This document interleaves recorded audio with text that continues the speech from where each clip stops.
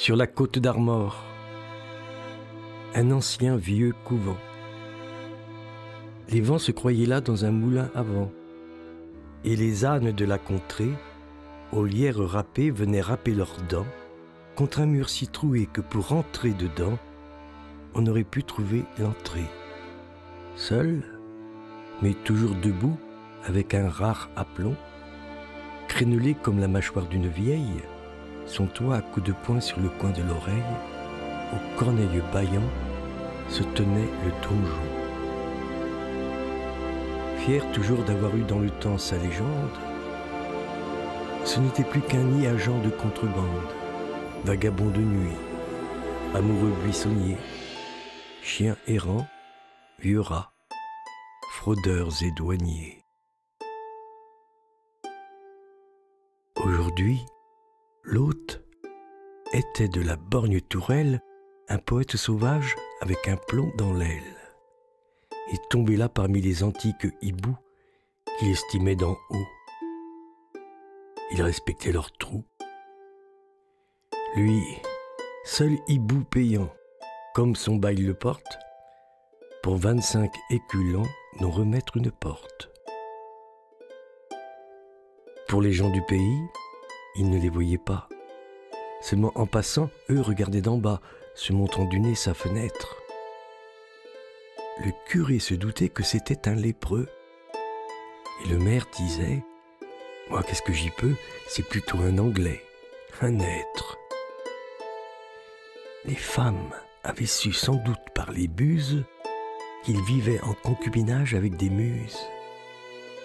Un hérétique enfin quelques Parisiens de Paris ou d'ailleurs. Hélas, on n'en sait rien.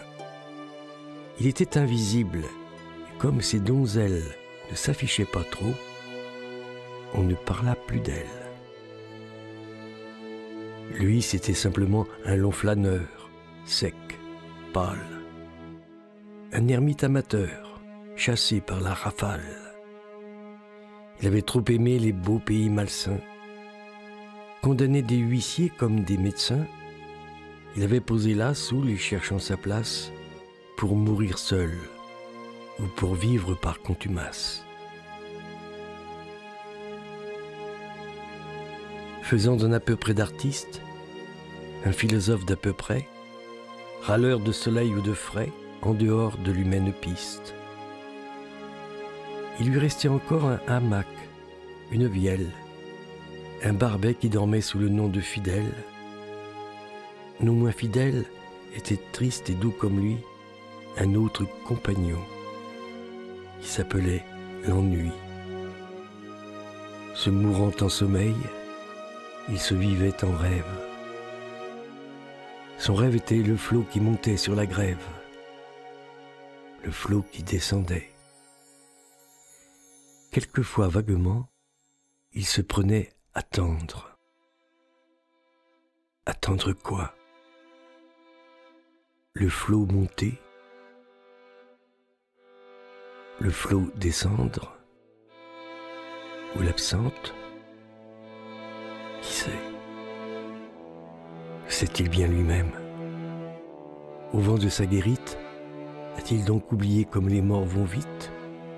Lui, ce viveur vécu, revenant égaré cherche-t-il son follet à lui mal assuré? Manque de savoir-vivre extrême, il survivait. Il manque de savoir mourir, il écrivait les amours jaunes. Sa lampe se mourait. Il ouvrit la fenêtre. Le soleil se levait.